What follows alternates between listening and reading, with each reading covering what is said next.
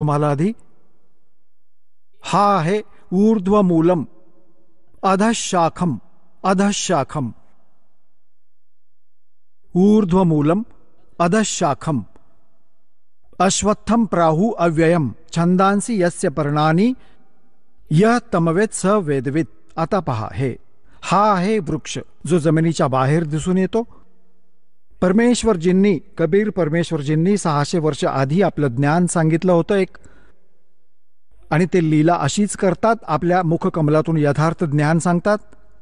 आणि त्या ज्ञानाला मग लिपिबद्ध केलं जातं त्याला सच्चिदानंद घनब्रह्मची वाणी म्हटलं जातं.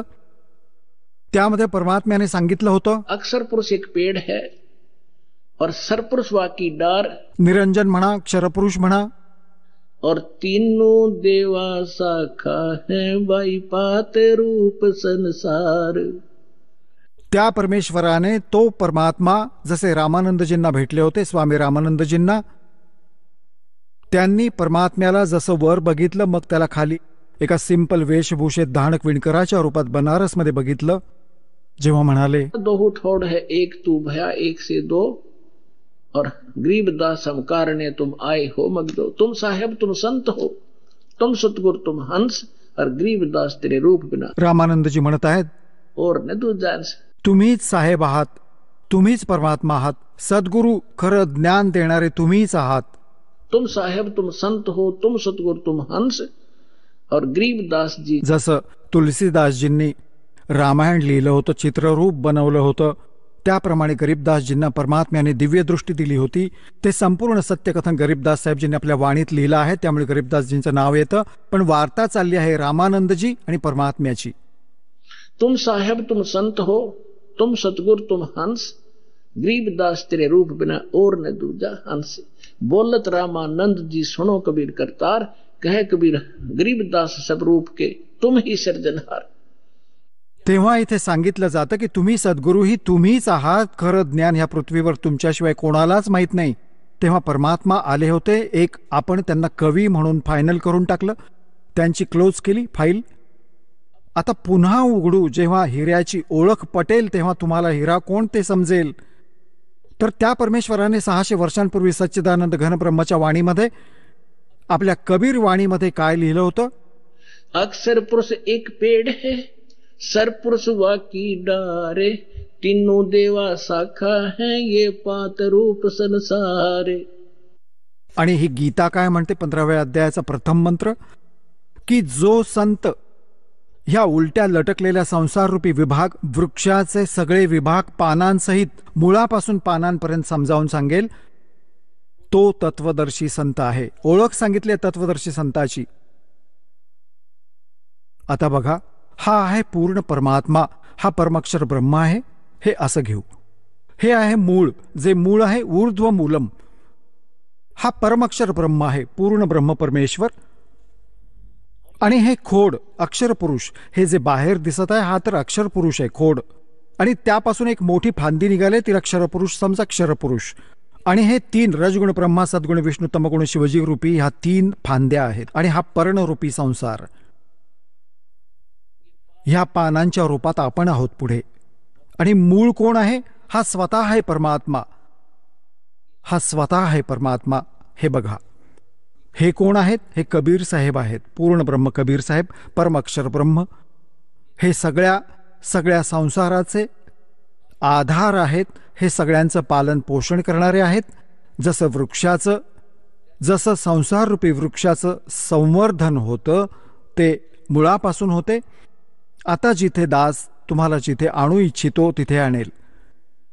गीता अध्याय नंबर गीता अध्याय नंबर पंधरामधला श्लोक नंबर एक तुम्ही वाचला यामध्ये स्पष्ट केलं आहे की तत्वदर्शी संत कसा असेल हे बघा. हा आहे पंधराव्या अध्यायाचा पहिला श्लोक. ह्यामध्ये सांगितलं आहे की ऊर्ध्वमूलम अधशाखम अश्वत्थम प्राहु अव्ययम. छंदांसी यस्य पर्णानी य तमवेत स वेदवित।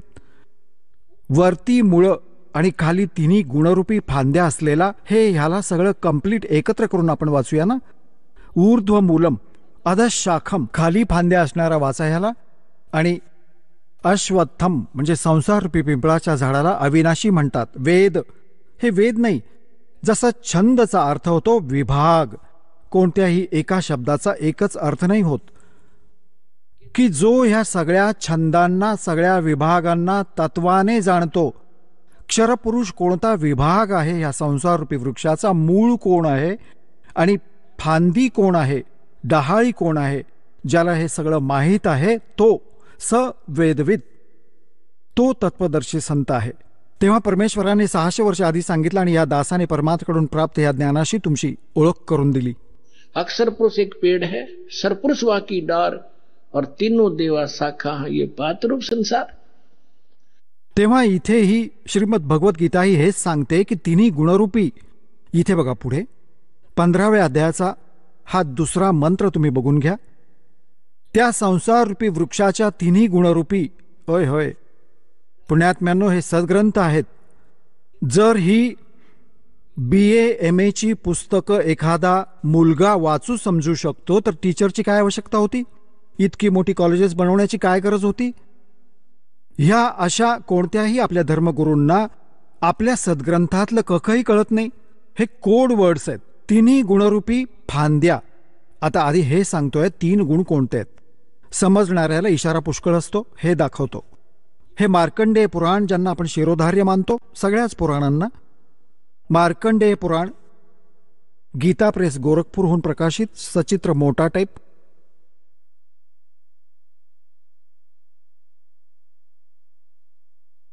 गीता प्रेस गोरखपूरहून प्रकाशित. ह्याच्या एकशे तेविसाव्या पानावर बघा. आता आपण इथून वाचत आलो आहोत एकशे बावीसपासून. संक्षिप्त मार्कंडेय पुराण. ह्यात मार्कंडेयजी म्हणत आले आहेत. मार्कंडेयजी म्हणाले मुनी आता आपण इकडे येऊ आपल्या कामाचं वाचू. रजोगुण प्रधान ब्रह्मा तमोगुण प्रधान रुद्र आणि सत्वप्रधान विश्वपालक विष्णू आहेत. ह्याच तीन देवता आहेत आणि हेच तीन गुण आहेत. इति सिद्धम रजगुण ब्रह्मा सत्गुण विष्णू तमगुण शिवजी. अजूनही बरेचसे प्रमाण आहेत जसं हे बघा श्रीमद देवी भागवत. ह्यामध्ये संस्कृतही सोबत आहे आपल्याला ही सोय आहे हे समजण्याची. भाग एक आणि हे कुठून प्रकाशित आहे? श्री अथ देवी भागवतम सभाषा टीकम स खेमरा श्रीकृष्णदास प्रकाशन मुंबईहून. ह्यात इथे येऊया. हा तिसरा स्कंद आहे. अथ श्रीमद देवी भागवते भाषा टीकायुक्ते तृतीय स्कंद हा प्रारंभ्यते. तिसऱ्या स्कंदामध्ये आलो आपण. पान नंबर अकरावर आणि अध्याय नंबर पाच. ह्याचा मंत्र आठ आपण आठ वाचू. सात इथे संपला. भगवान शिवजी म्हणत आहेत आपली आई दुर्गाला हे माता जर आमच्यावर तुम्ही नेहमी दयायुक्त असाल तर आम्हाला तमोगुण का बरं प्रदान केला? आणि रजोगुण ब्रह्मा रजोगुण हरिसत्वगुण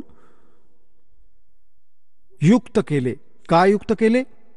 आता हे तर हिंदी आहे आता संस्कृत वाचू आपण. हे बघा. यदि दयार्द्रमनान सदांबिके कथमहम विहितश्च। मला का बनवलं? शंकर भगवान म्हणतात तमोगुण. हा आणि कमलज कमळापासून उत्पन्न झालेल्या ब्रह्माजींना रजोगुण संभव? हा रजोगुणी का बनवलं? सुवित हा किमू सत्वगुणो सत्वगुणो हरिही आणि विष्णूजींना तुम्ही सद्गुणी का बनवलं? इति सिद्धम रजगुण ब्रह्मा सद्गुण विष्णू तमगुण शिवजी. आता आपण पुन्हा घेऊया श्रीमद भगवद्गीतेला. पुण्यात्म्यांनो ह्या मनुष्य जीवनाचा मूळ उद्देश हा परमात्मा प्राप्तीचा आहे. आणि भगवान लाभले त्यांची साधनं साधना योग्य लाभली तर आपलं हे जीवनही सुखी होईल. ह्यासाठी भगवानाचा शोध आपण घेत होतो. आणि ज्या कारणांमुळे आपण ह्या नकली संतांकडे जाऊन फसलो ज्याने जशी साधना सांगितली ती आम्ही दिवसरात्र करत राहिलो. आपले पूर्वज मेले भूत बनले आता त्यांचे श्राद्ध करून घेत आहेत. ते भूत योनी भोगत आहेत आणि आपल्याला मूर्ख बनवत आहेत की श्राद्ध करा. तुमचे पिता तृप्त होतील. आधी वडील तीनशे साठ दिवस दोन दोन तीन तीन वेळा जेवत असायचे. आणि मग वर्षातून एक दिवस खायला घालून त्यांना नेहमी करता कसं सुखी कराल? ही सगळी उलटी कामं लावून दिली आपल्या पूर्वजांना. आता आपण सद्ग्रंथ समजून घेऊ यामध्ये सांगितलं काय आहे. आता बघा श्रीमद भगवद्गीता गीता प्रेस गोरखपूरहून प्रकाशित आहे.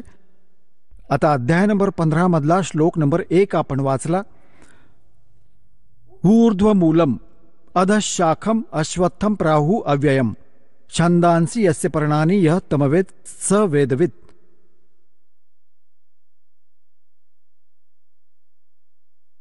ऊर्ध्व मूलम म्हणजे वरती आदी वरती ज्याच्या मुळा आहे तो पूर्ण परमात्मा समजावा. खाली अधशाखम खाली फांद्या आहेत. ह्या संसाररूपी पिंपळाच्या वृक्षाला अविनाशी म्हणतात वेद ज्याची पानं सांगितली आहेत. त्या संसाररूपी वृक्षाला जो मुळासहित जाणतो म्हणजे मुळापासून पानांपर्यंत जाणतो तो सवेदविद तो वेदांचं तात्पर्य जाणणारा आहे. अर्थात तो तत्वदर्शी संत आहे. आता पुढे म्हटलं आहे दुसऱ्यामध्ये त्या संसार वृक्षात तिन्ही गुणरूप रजगुण ब्रह्मा सद्गुण विष्णू तमगुण शिवजी रूपी ह्या पाण्याने वाढलेल्या नाहीत. विषय प्रवाला विषय प्रवाला शाखा विषय वासनारूपी ह्या तिन्ही फांद्या आहेत रजगुण ब्रह्म सद्गुण विष्णू तमगुण शिवजी खाली आणि वर. सगळीकडे नाही. अधा म्हणजे खाली ऊर्ध्व म्हणजे वर. खाली आणि वर पसरलेल्या आहेत. आणि ह्या मनुष्य लोकात आपल्याला कर्माप्रमाणे बांधण्याची ही ही मुख्य कारणे आहेत. कर्मानुबंधानी मूल्यानी. हे आपल्या कर्माच्या आधारावर इथेच ठेवतात जशी ज्याची कर्मे असतात त्याला तसंच देत राहतात. कोणाची चांगली पुण्य आहेत तर त्याला चांगलं देत राहतील ज्याचं पाप आहे त्याला दुःख देत राहतील त्यात कोणताच बदल हे करू शकत नाहीत आणि आपल्याला इथे बांधून ठेवण्याचंही हे मुख्य कारण आहे. आता बघा. खाली आणि वर सगळ्या लोकात नाही खाली आणि वर पसरल्या आहेत ह्या. आता तिसऱ्यामध्ये काय म्हटलं आहे की ह्या संसार वृक्षाचं स्वरूप जसं सांगितलं आहे तसं ह्या विचार काळात नाही मिळणार. म्हणजे माझ्या आणि तुझ्या डिस्कशनमध्ये जे गीतेचं ज्ञान मी देत आहे त्यामध्ये मला कंप्लीट नाही सांगता येणार त्या परमात्म्याबद्दल. त्यामुळे ऑप्शन दिलेला आहे याने चौथ्या अध्यायाच्या चौतीसाव्या श्लोकात सांगितलंय की ते तत्वज्ञान जे परमात्मा स्वतः आपल्या मुखाने मुखकमलाने सांगतो. चौथ्या अध्याच्या बत्तीस आणि चौतीसमध्ये ते तत्वज्ञान आहे. ते तत्वज्ञान तू तत्वदर्शी संतांकडे जाऊन समजून घे. गीता ज्ञानदाता म्हणतो की मला माहिती नाही ते कंप्लीट. इथे स्पष्ट करतो की ह्या विचार काळामध्ये जे गीतेचं ज्ञान मी तुला देत आहे ते कम्प्लिटली नाही सांगू शकणार. तुझ्या आणि इथल्या माझ्या विचार काळात हे पूर्णपणे नाही मिळणार. ते कोणा दुसऱ्याकडून समजून घे. हे बघा.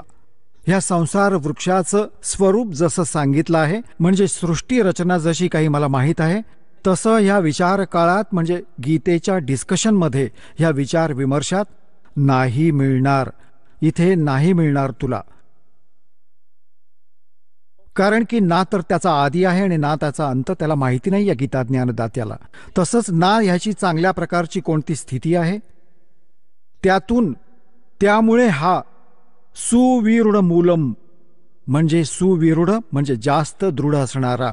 म्हणजे परमात्म्याचे लोक परमात्म्याचा जो वरचा लोक आहे सतलोक अलकलोक अगमलोक आणि अकहलोक ज्याला अनामी लोकही म्हणतात ते अविनाशी आहेत ज्यांचा नाश नाही होत. त्यामुळे सुदृढ मूल त्याला सुदृढ म्हटलं आहे.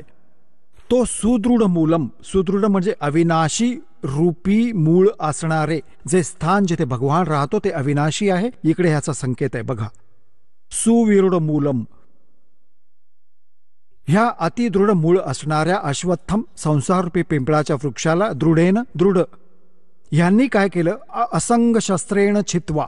यांनी काय केलं? वैराग्यरूपी शस्त्राने तोडून. हे सांगायचं होतं तत्वज्ञान रूपी शस्त्राने तोडून.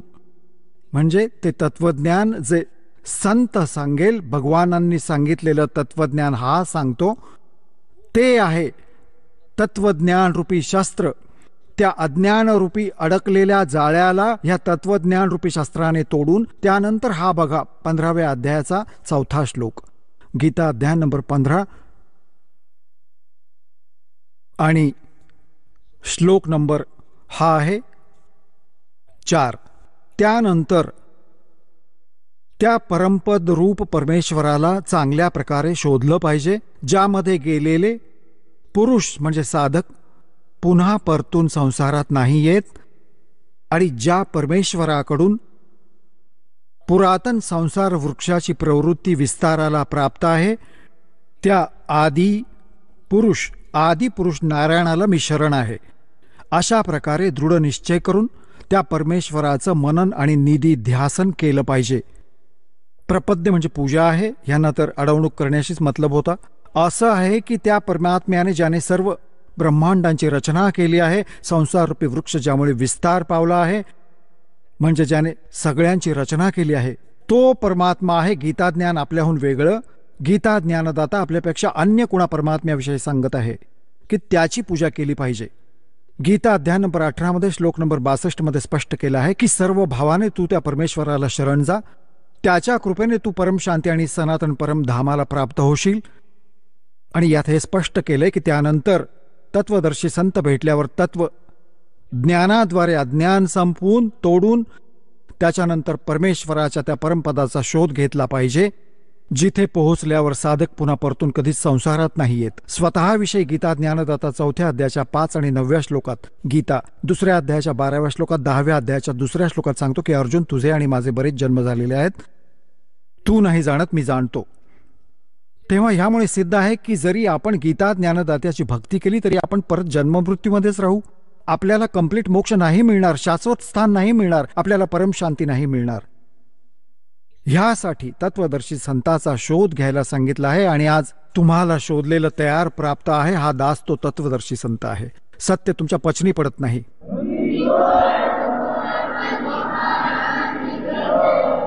आता तुम्हाला परत आणूया पंधराव्या अध्यायाच्या सोळा आणि सतरा दोन श्लोकांकडे.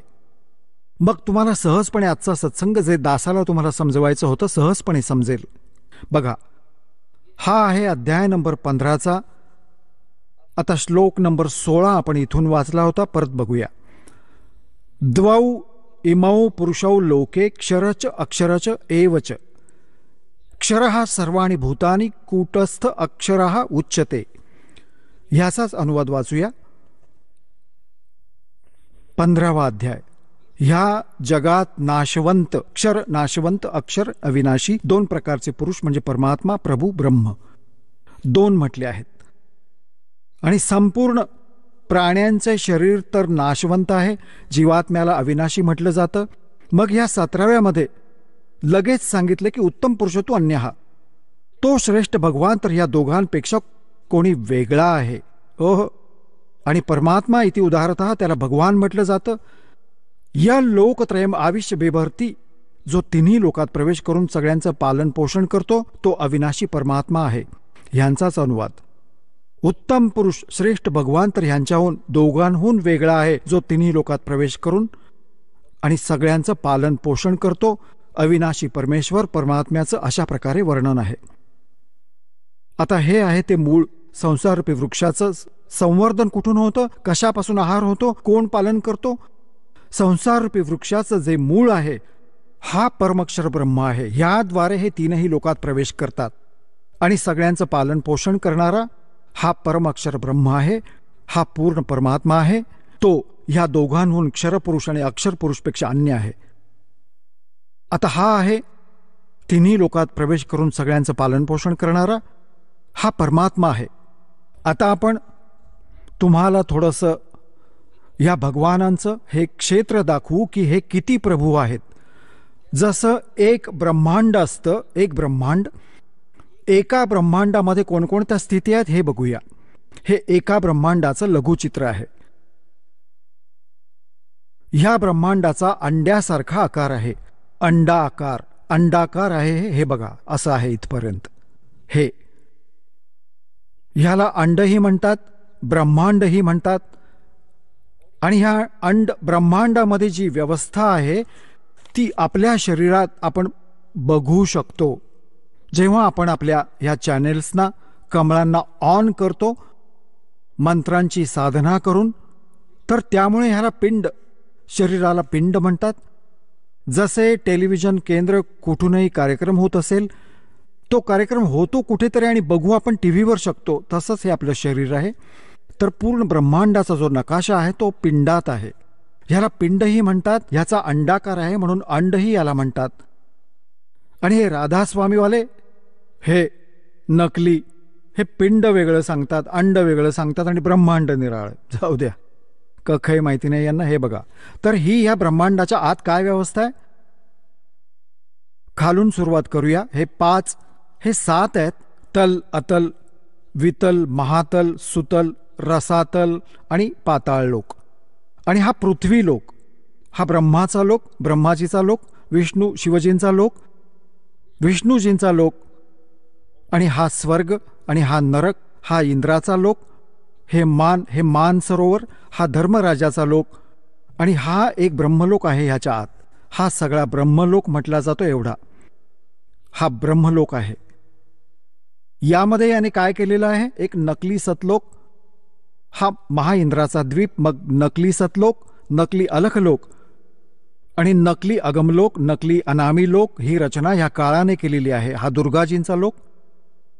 इकडे याने गुप्त स्थान बनवलेलं आहे आणि ज्या ह्या गुप्तस्थानी कोणी नाही जाऊ शकत ह्या काळाच्या परवानगीशिवाय ब्रह्मा विष्णू महेश यांचा पिता आहे आणि याने तीन स्थान बनवले आहेत. एक रजोगुण प्रधान क्षेत्र एक तमोगुण प्रधान क्षेत्र एक सत्वगुण प्रधान क्षेत्र.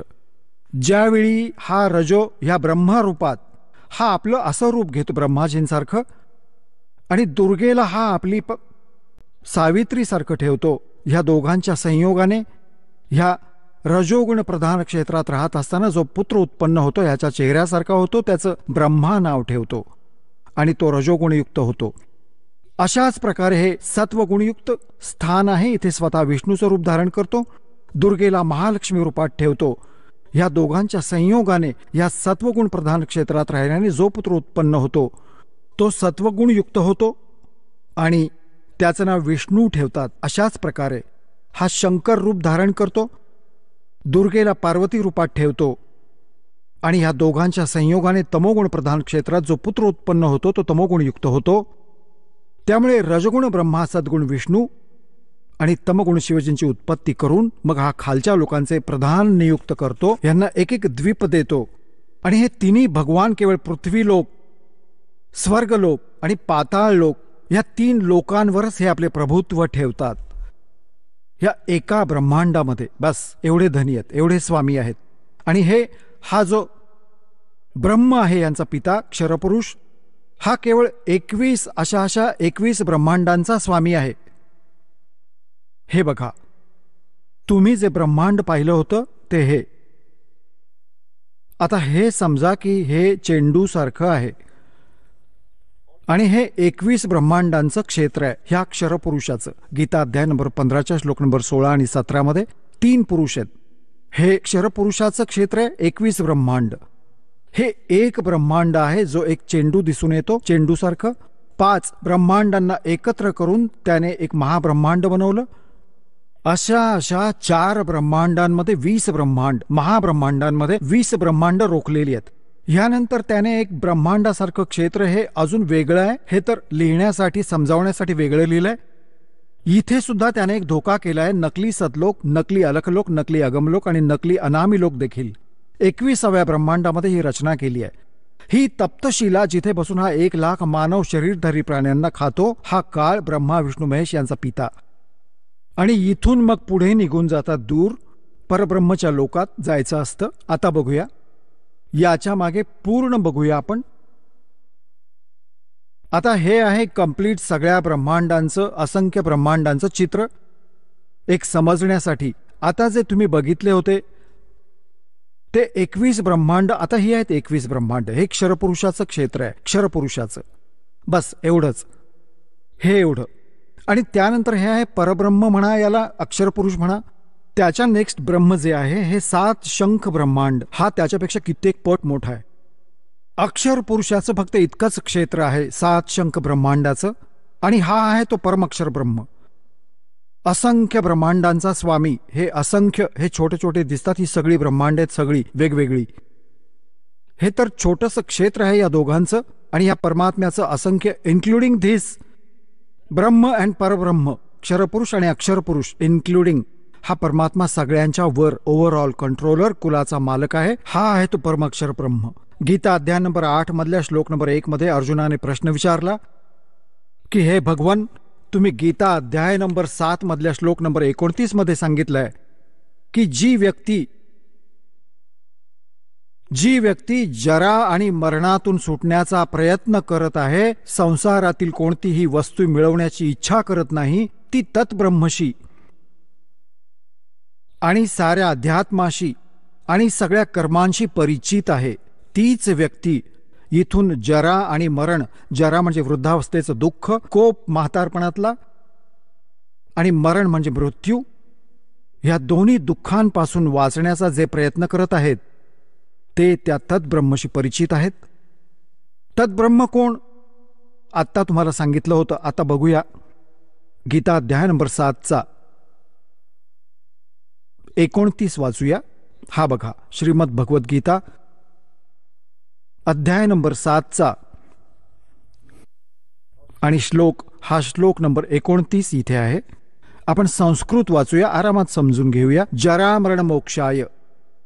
जरा म्हणजे वृद्धावस्था मरण म्हणजे मृत्यू मोक्ष म्हणजे सुटण्यासाठी. माम आश्रित्य यतंती ये ते ब्रह्मतत्विदु कृष्णम अध्यात्मम च अखिलम. ह्याचा अर्थ आहे की माझ्या ह्या ज्ञानाचा आश्रय करून घेईल. जे मी ज्ञान दिलं आहे की अर्जुन तत्वदर्शी संताचा शोध घे ते परमात्म तत्व परमात्माला समजण्याकरता. जिथे गेल्यानंतर पुन्हा परतून जन्ममृत्यू नाही होणार परम शांती प्राप्त होईल. जो माझं हे ज्ञान आश्रित करतो आणि जो केवळ जरा आणि मरणातून सुटण्याचा जो प्रयत्न करत आहे तो तत्ब्रह्मशी परिचित झालेला आहे. आणि साऱ्या अध्यात्म ज्ञानाशी आणि सगळ्या कर्मांशी परिचित आहे. केवळ तोच ह्या जरा आणि मरणातून सुटण्यासाठी प्रयत्नशील आहे संसारातल्या कोणत्याही वस्तूची इच्छा नाही बाळगत. तेव्हा आठव्या अध्यायाच्या पहिल्या मंत्रात अर्जुनाने विचारलं मग किम तद्ब्रह्म? ते तद्ब्रह्म काय आहे? आठव्या अध्यायाच्या तिसऱ्या श्लोकात गीता ज्ञानदात्याने सांगितलं तो परमक्षर ब्रह्म आहे. होय होय. एक क्षरब्रह्म? एकवीस ब्रह्मांडांचा स्वामी त्याला क्षरपुरुष म्हणा क्षरब्रह्म म्हणा मग अक्षरब्रह्म. त्याला अक्षर पुरुष म्हणा अक्षर ब्रह्म म्हणा तो सात शंख ब्रह्मांडांचा स्वामी आता तुम्हाला दाखवलं होतं. आणि तो उत्तम पुरुष तो अन्य हा परमात्मा इति उदाहरत पंधराव्या अध्यायाच्या सतराव्या श्लोकात किंवा गीता अध्याय नंबर आठमध्ये श्लोक नंबर तीन मध्ये सांगितलं की तो परमक्षर ब्रह्म आहे. आता गीता ज्ञानदाता सांगतोय की माझी साधना केलीस तर मला प्राप्त होशील जन्म मृत्यू तुझेही होतील माझेही होतील. आणि त्या तत्वदर्शी संताचा शोध घेऊन त्या परमाक्षर ब्रह्मची साधना केल्यास त्याला प्राप्त होशील. मग कधीच तुझे जन्ममृत्यू नाही होणार. एवढंच ज्ञान आहे संपूर्ण गीतेमध्ये. आता पहा आपण वाचत आहोत अध्याय नंबर सातचा आणि मंत्र नंबर एकोणतीस. हा तर दासाने तुमच्यासाठी संस्कृतचा अनुवाद केला आहे. आता बघा ह्यांचा अनुवाद. जे मला शरण येऊन जरा आणि मरणातून सुटण्यासाठी प्रयत्न करतात यत्न करतात जराचा अर्थ यांना कळलाच नाही. जरा म्हणजे म्हातारपण वृद्ध अवस्थेतले कष्ट. ह्या जीवावर दोन कष्ट आहेत सर्वात भयंकर. एक तर वृद्धावस्था सगळे अवयव शिथिल होतात. सगळे रोग मागे लागतात. आणि मग मृत्यू. किती चांगली मुलं आहेत मुली आहेत. कसं घर आहे बंगला आहे आणि कसं मन रमतं? एका मिनिटात मृत्यू होतो. खाक आहे हे जीवन. तेव्हा हे इथे सांगितलंय की हे जरा आणि मरणातून सुटण्याचा जे प्रयत्न करत आहेत ते तत्ब्रह्मशी परिचित आहेत. हे बघा. जे मला शरण राहून जरा आणि मरणातून सुटण्यासाठी जे प्रयत्न करतात ते पुरुष तत् त्या ब्रह्म म्हणजे ब्रह्मला तत्ब्रह्म तत्ब्रह्मला संपूर्ण अध्यात्माला तसंच संपूर्ण कर्मांना जाणतात. आता बघा आठव्या अध्यायाच्या पहिल्या मंत्रात अर्जुनाने विचारलं किम तद्ब्रम किम अध्यात्मम किम कर्म पुरुषोत्तम? अधिभूतम च किम प्रोक्तम? अधिदैवम किम उच्चते ह्यामध्ये विचारले की ते ब्रह्म काय आहे? ते तद्ब्रह्म काय आहे? आता गीता ज्ञानदात्याने आठव्या अध्यायाच्या तिसऱ्या श्लोकात सांगितलं. आठव्या अध्यायाच्या तिसऱ्या श्लोकात तो परमक्षर ब्रह्म आहे. आता पुण्यात्म्यांनो इतकं महान ज्ञान ह्या अनमोल ग्रंथामध्ये अमर ग्रंथात गीतेमध्ये आणि हे नकली श्रीकृष्णजींना सुप्रीम पॉवर मानतात. श्रीकृष्णजींचा तर ह्यामध्ये काही रोलही नाही कोणता. गीतेमध्ये कुठे पूजेचा विधी देखील नाहीये. त्याचा साधा उल्लेखही नाही. फक्त तीन गुण सांगितले आहेत रजगुण ब्रह्मा सद्गुण विष्णू तमगुण शिवजी. आता गीता ज्ञानदाता कोण आहे? हा ब्रह्म आहे. हा अशी अलौकिक कार्य करतो. कोणामध्ये प्रवेश करून आपलं ज्ञान देतो. आता हे जे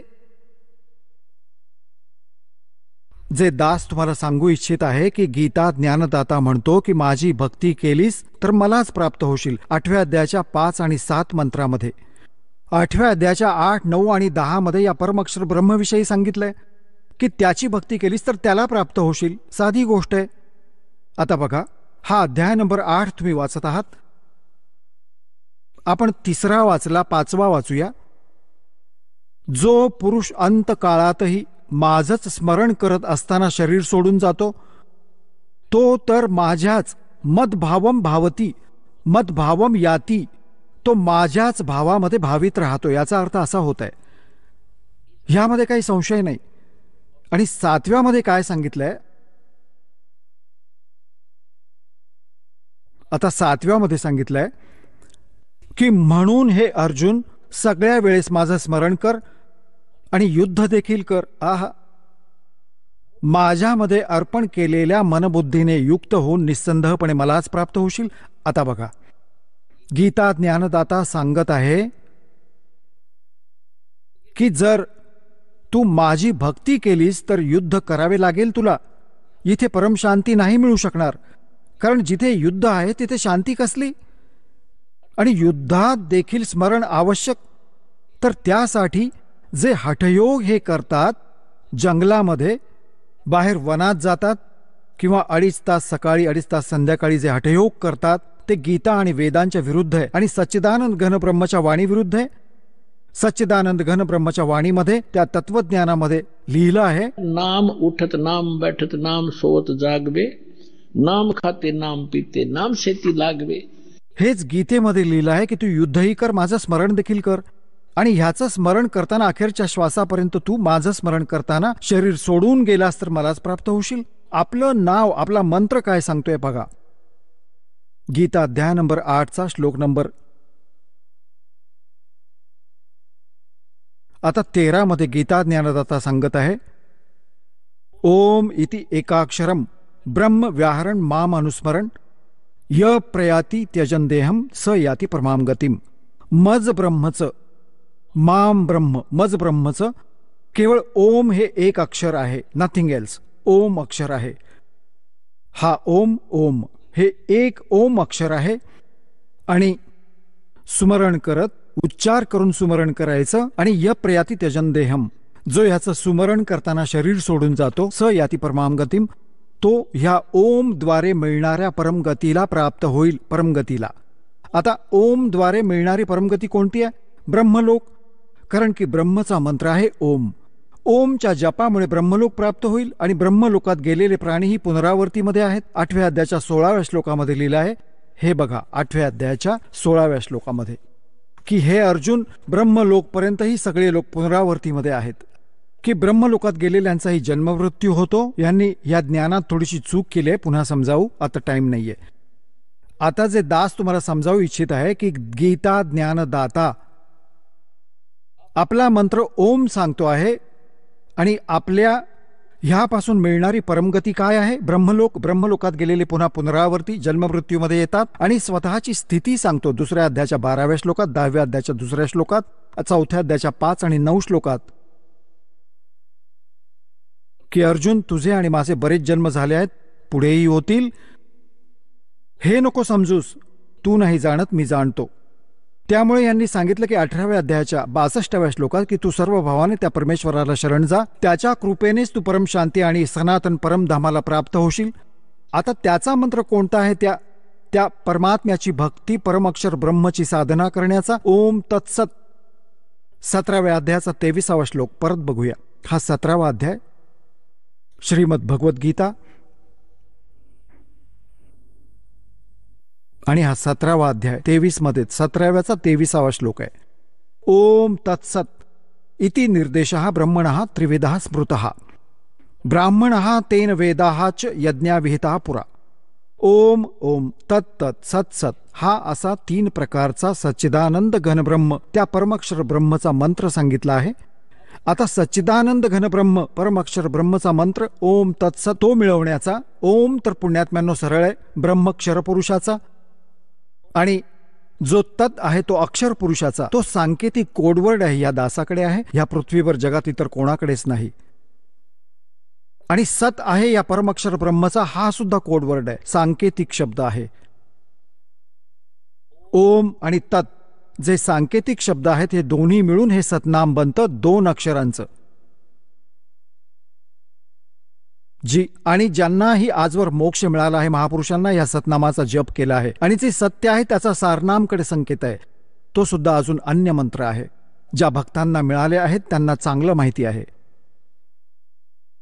आता आठव्या अध्यायाच्या आठ नऊ दहा श्लोक तीन श्लोकांमध्ये गीता ज्ञानदाता परमक्षर ब्रह्मच्या साधनेविषयी सांगतो त्याची भक्ती केल्यास त्याला प्राप्त होशील माझी केल्यास मला प्राप्त होशील मला माझी भक्ती केली तर जन्म मृत्यू तुझेही होतील माझेही होतील सनातन परमधाम नाही प्राप्त होऊ शकणार परमशांती नाही मिळू शकणार ते स्थान नाही प्राप्त होऊ शकणार जिथे गेल्यावर पुन्हा परतून कधी संसारात नाही येत. आणि त्याशिवाय पूर्ण मोक्ष नाही मिळू शकणार परमशांती नाही मिळू शकणार आणि हे जन्म मरणाचे कष्ट संपू नाही शकणार. आता बघा श्रीमद भगवद्गीता आठव्या अध्यायातल्या आठ नऊ दहा तुम्हाला ओळख करून देतो.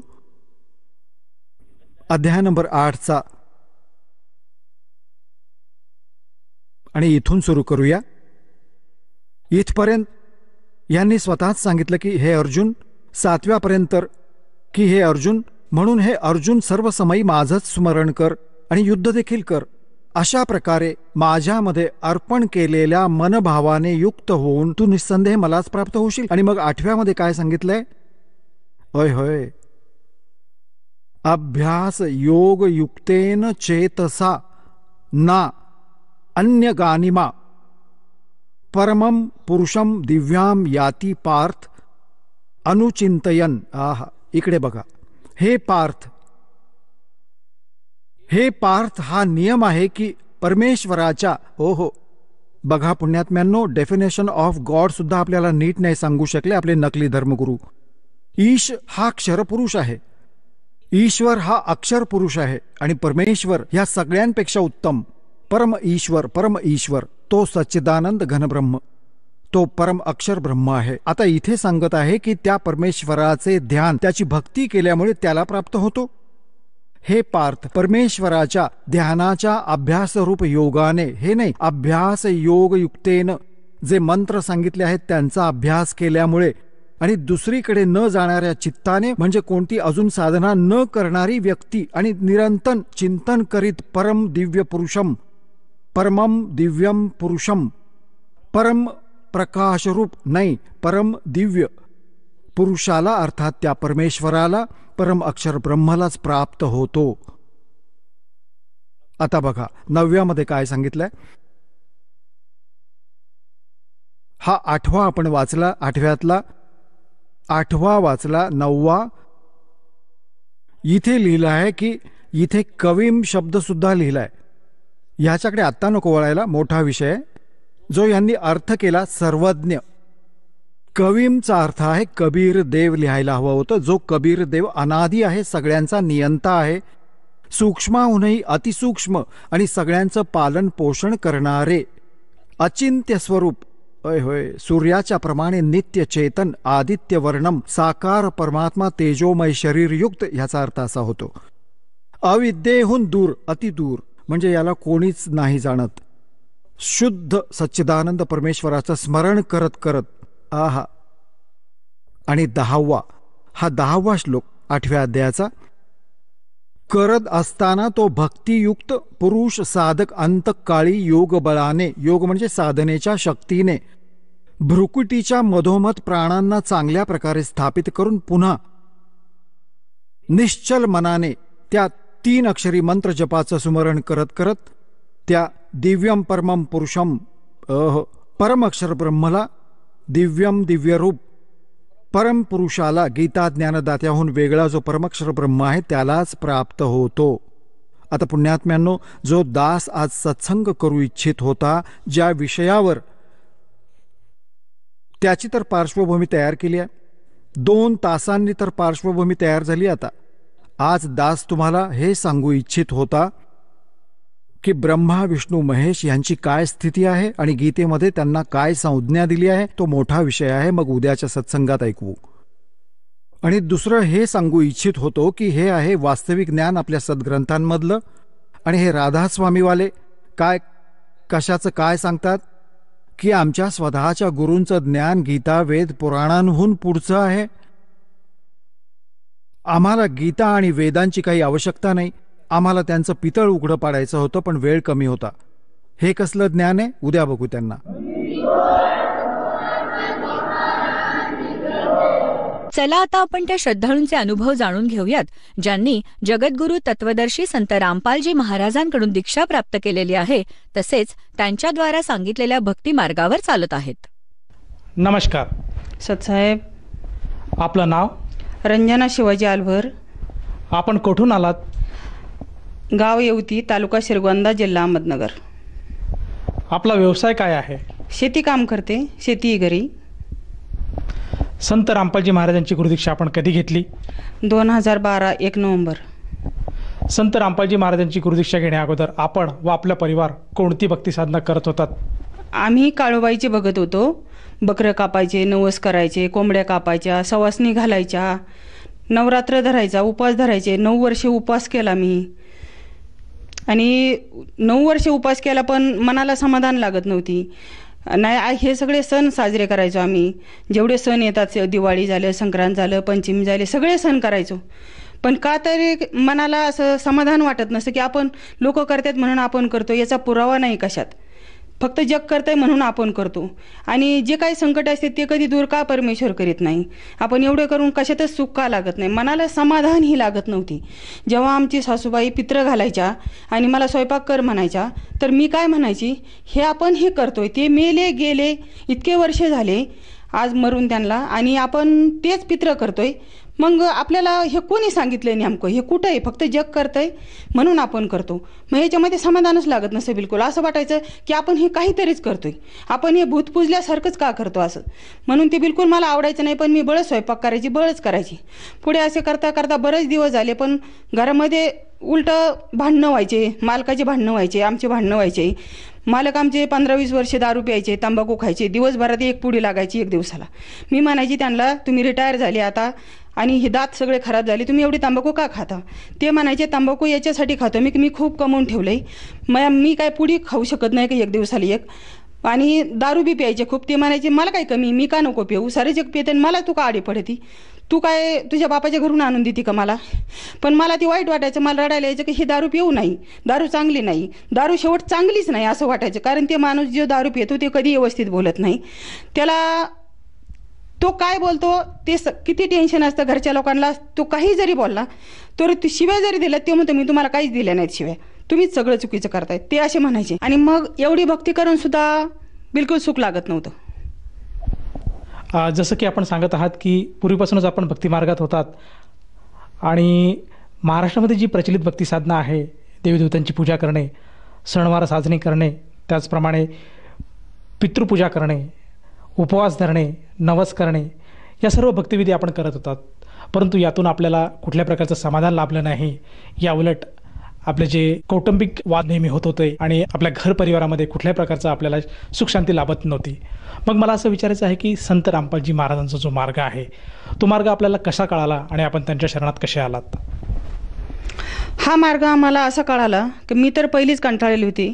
असं वाटायचं की देवच हा नाही जर देव आहे तर सगळं जे नाही ते करून दमले. देव देवलेशी केले. हे जे लोक म्हणतात तुम्हाला घातलंय तुम्हाला केलंय तुम्हाला अमकं झालंय ह्याच्यात बी खूप पैसे खर्च केले. असं नाही की केले नाही.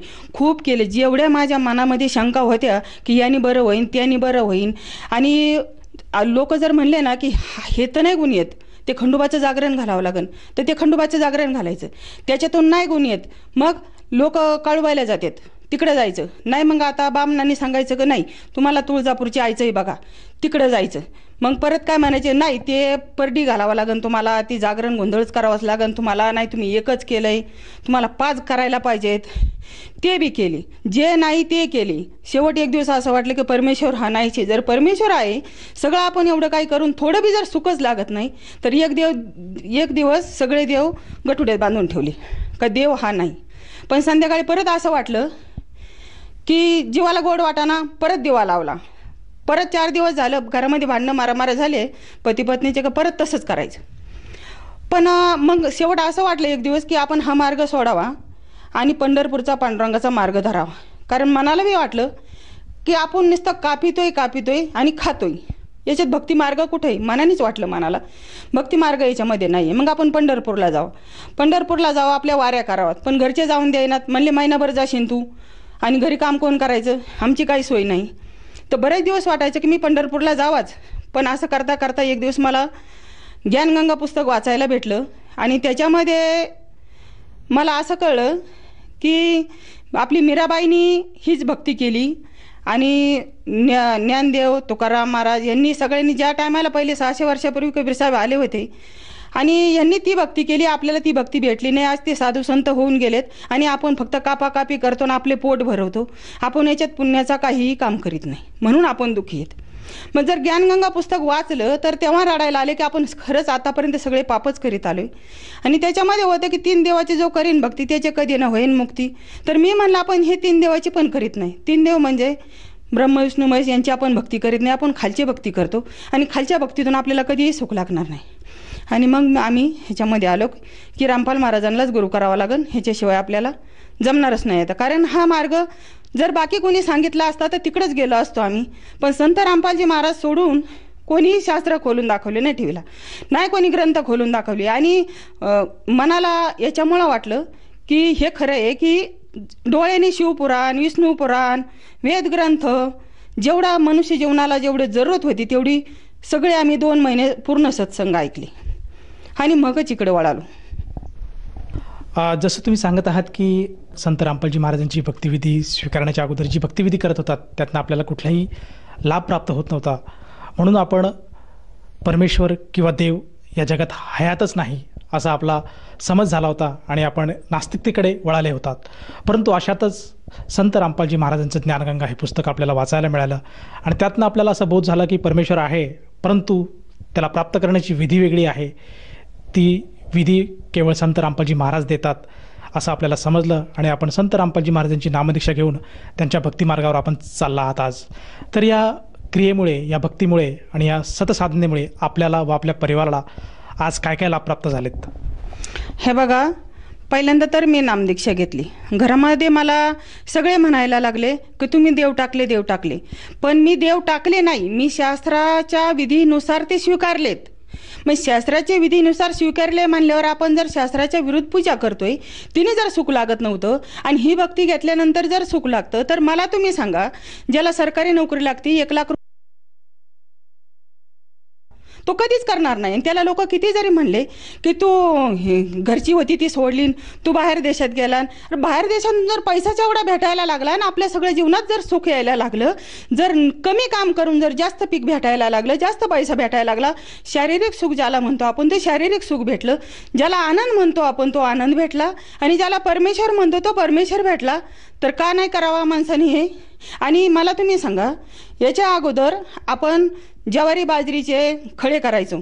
आणि ते खडे कसे करायचो आपण? की बैलाच्या पाथा धरायचो. वारं येईन तेव्हाच उपणायचं. आता मशीन आली तरी एक तासात बारा पोती बाजरी निघते. मग आता ती का करतो आपण?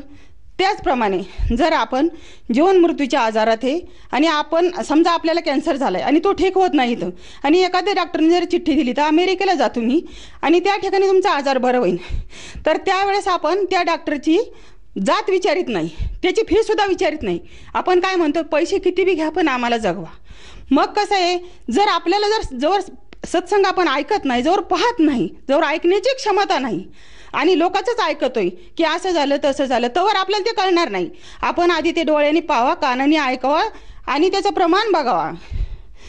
जसं आपण सांगत आहात की जी पूर्वी आपण भक्ती साधना करत होतात जी पारंपरिक लोकवेदानुसार जी आपण भक्तिविधी करत होतात त्यातनं आपल्याला कुठल्या प्रकारचा लाभ मिळत नव्हता कुठल्या प्रकारचं समाधान मिळत नव्हतं. या उलट आपल्या परिवारामध्ये क्लेश भांडण तंटा या गोष्टीच होत होत्या. पण जेव्हा आपण संत रामपालजी महाराजांचा जो ज्ञानगंगा नामाचा जो ग्रंथ आहे त्याचं अध्ययन जेव्हा आपण केलं त्याचप्रमाणे संत रामपालजी महाराजांचे सत्संग बघितले त्यानंतर आपला विश्वास पटला की आपण सुद्धा संत रामपाजी महाराजांची नामरीक्षा घ्यायला हवी आणि आपण संत रामपाजी महाराजांची नामरीक्षा सुद्धा घेतली. तर मला असं विचारायचं आहे जेव्हा आपण संत रामपाजी महाराजांच्या मार्गात आलात त्यानंतर आपल्याला व आपल्या परिवाराला काय काय लाभ प्राप्त झालेत? लाभ असे प्राप्त झाले तर माझ्या मालकाने तंबाखू सोडून दिली दारू सोडून दिली भक्ती मार्गाकडे लागले आणि शास्त्रानुसार भक्ती करायला लागले. तो फायदा झाला.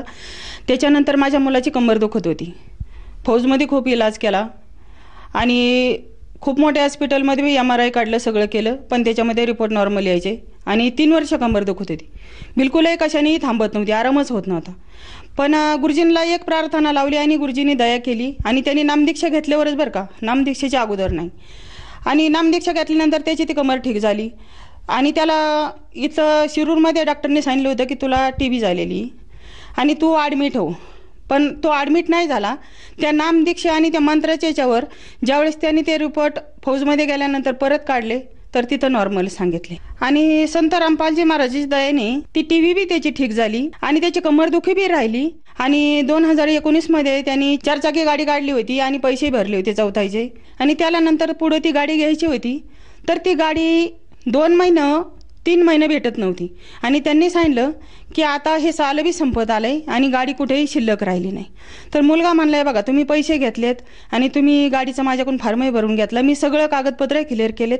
आता ती तुमची चुकी जर तुम्ही मला गाडी देत नाही तर. पण ते म्हणले नाही गाडी जर शिल्लक नाही तर आम्ही देणार कुठून? परत म्हणले पंधरा दिवस थांबा आम्ही सगळीकडे कुठं आहे का पाहतो. सगळीकडे पाहिले त्यांनी. सगळीकडून रिपोर्ट आले सगळीकडून फोन आले की गाडी नाही आहे तुम्ही पैसेच माघारी न्या. पण त्यांनी मग गुरुजींना संत रामपालजी महाराजांना प्रार्थना लावली की मला गाडी भेटत नाही आणि मी पैसे भरलेले आहेत. हे बघा दुसऱ्या दिवशीच फोन आला की एक गाडी शिल्लक आहे आणि एकच शिल्लक आहे फक्त. ती तुम्ही घेऊन जा. मग मला तुम्ही सांगा जी गाडी तीन तीन महिने भेटत नाही ती गाडी गुरुजींना प्रार्थना केल्याबरोबर गुरुजींनी अशी दया केली संत रामपालजी महाराजांनी की दुसऱ्या दिवशीच गाडी आली. मग ती कुठून आली असं बघा आता. कोणी पण याच्यावर विचार करू शकतं की जी तीन महिना नाहीच कुठं कोणत्याही डेपोमध्ये गाडी शिल्लक नाही. आणि ती सकाळची कशी भेटली असं बघा. दुसऱ्या दिवशी ती गाडी त्याला लगेच भेटली. जसं तुम्ही सांगत आहात की संत रामपालजी महाराजांच्या शरणात आल्यानंतर आपल्याला बरेचसे लाभ प्राप्त झालेत. सर्वप्रथम तर जो आपला जो प्रपंचामध्ये जे आपले जे पती होते ते दारूचे आणि तंबाखूचे सेवन करत होते त्यांना जे व्यसन जडलं होतं ते पूर्णपणे त्यातून बाहेर आले आणि आज सद्भक्ती करत आहेत. हा एक मोठा लाभ आपल्यासाठी झाला आहे. त्याचप्रमाणे आपल्या मुलाला जो टी व्हीचा आजार जो डिटेक्ट झाला होता हाडांचा टी व्ही तो सुद्धा संत रामपालजी महाराजांच्या सद्भक्तीमुळे आज ते त्यातून बाहेर आलेले आहेत. तर मला असं विचारायचं आहे हे तर लाभ आपल्याला झालेच परंतु या व्यतिरिक्त आणखीन काही लाभ आपल्याला प्राप्त झालेत का? हो आणि लाभ झाले. आम्ही पेरूचा बाग लावलाय आणि त्याला कॅन्सरसारखा निमोटोड असं म्हणले जाते. आणि तो रोग त्याला खूप औषधी केली अगोदर. पण ते काय ठीक झालं नाही. ज्यावेळेस माझ्या मोठ्या मुलाने मग नामदीक्षा घेतली आणि गुरुजींना संत रामपालजी महाराजांना प्रार्थना लावली की मला बाग आता काढावा लागेल. कारण सगळ्या जेवढे लोक आहेत ह्या शेतीतले पुढे गेलेले हे सगळे मेडिकलवाले दुकानवाले ह्यांनी सगळ्यांनी सांगितलं की ह्याच्यावर कुठलाही दवाई नाही आहे हे ठीक होत नाही हा आजार गंभीर आहे हा हे तुम्ही काढून टाका नाही तर दुसरे पीक तुम्हाला याच्यात येणार नाही. पण संत रामपालजी महाराजांना प्रार्थना लावल्यानंतर त्यांनी अशी दया केली आज बघा कोणीच म्हणत नाही की ती एक जा ते झाडं एक वर्षाची आहेत आणि त्याला एवढे फळं आलेत आणि एवढे चांगले झाडे होऊ शकतात बिना औषधाची. आम्ही त्याच्यानंतर त्याला औषधही केलं नाही. आणि त्याच्यानंतर आमचा मोठा मुलगा आहे त्याला पोटाचा असा आजार आहे पित्ताचा की तो आलसर रूपात जातो पुढे जास्त झाल्यानंतर. आणि आमच्या सुनबाईंना पण तसंच झाले दोघांनाही तसंच झाले संगत झालंय त्यांना. पण त्यांनी नामदीक्षा घेतली आणि गुरुजींना प्रार्थना लावली. आणि त्याच्यानंतर ते ठीक झालेत. तर मला काय म्हणायचं आहे संत रामपालजी महाराजांची जवळ नामदीक्षा घेत नाही तर ते ठीक झाले नाही अगोदर किती दवाई केली तरी त्यांना काहीच फरक झाला नाही. आणि अजून मलाही पण आजार होता. माझी कंबर दुखत होती. माझा बी पी वाढलेला होता खूप. मला शुगर झालेली होती. माझे पण सगळे ठीक झालेत. मग जे दवाई खाऊन ठीक होत नाही ते बिना दवाईचे ठीक झालेत. जसं तुम्ही सांगत आहात की संत रामपालजी महाराजांच्या सद्भक्तीमुळे आपल्याला व आपल्या परिवाराला बरेचसे लाभ प्राप्त झालेत. शारीरिक स्वरूपात मानसिक स्वरूपात त्याचप्रमाणे आर्थिक स्वरूपात सुद्धा संत रामपालजी महाराजांच्या दयेने आज आपण पूर्णपणे या कलहातून या कष्टातून आपण बाहेर आलात आणि एक सद्भक्तीमध्ये आपण लीन आहात आणि आपलं सर्व कुटुंब संत रामपालजी महाराजांची सद्भक्ती करत आहेत. तर ह्या अनुषंगाने आपण आपल्यासारखे जे इतर समाज बांधव आहेत आणि जे आपले कौटुंबिक मित्रपरिवार आहे नातलग आहे आणि जो श्रोतावर्ग आज आपल्या टी व्ही चॅनलमधून बघत आहेत त्या सर्वांना आपण काय उपदेश किंवा संदेश द्याल? आता त्यांना उपदेश बघा हेच आहे की उपदेश तर गुरुजी रोजच देतात टी व्हीवर पण लोक लक्ष देत नाहीत.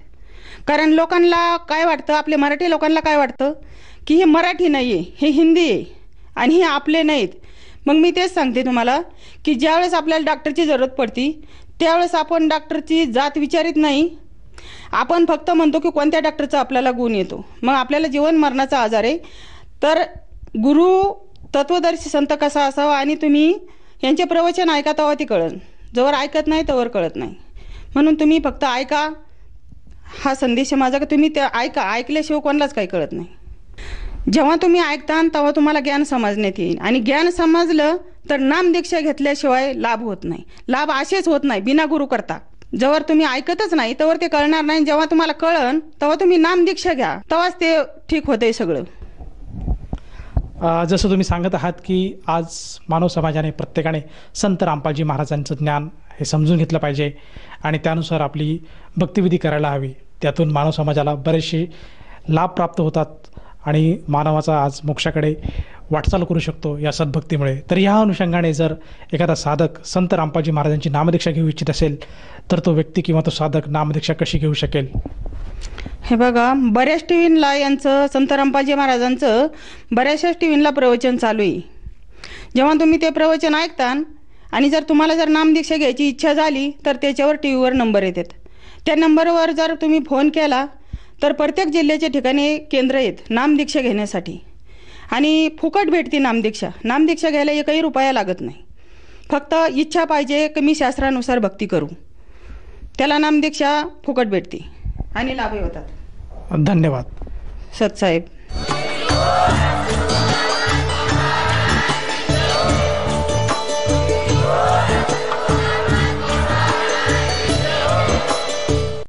आपण ऐकत होता जगद्गुरु तत्वदर्शी संत रामपालजी महाराजांचे मंगल प्रवचन. निशुल्क नामदीक्षा प्राप्त करण्यासाठी आणि अधिक माहितीसाठी संपर्क करा. सात शून्य तीन शून्य तीन शून्य तीन नऊ पाच एक. सात शून्य तीन शून्य तीन शून्य तीन नऊ पाच दोन. आमची वेबसाईट आहे W W W dot Jagadguru Rampalji dot O R G. सर्व पवित्र धर्मांच्या व पवित्र शास्त्रांवर आधारित प्रमाणित अनमोल पुस्तक ज्ञानगंगा किंवा जगण्याचा मार्ग यापैकी कोणतेही एक पुस्तक निशुल्क मागवण्यासाठी आम्हाला आपले पूर्ण नाव पूर्ण पत्ता पिनकोड सहित आणि फोन नंबर लिहून सात शून्य तीन शून्य तीन शून्य तीन नऊ पाच एक सात शून्य तीन शून्य तीन शून्य तीन नऊ पाच दोन नंबरवर एस एम एस करू शकता किंवा आम्हाला सात शून्य तीन शून्य तीन शून्य तीन नऊ पाच शून्य नंबरवर व्हॉट्सअप देखील करू शकता.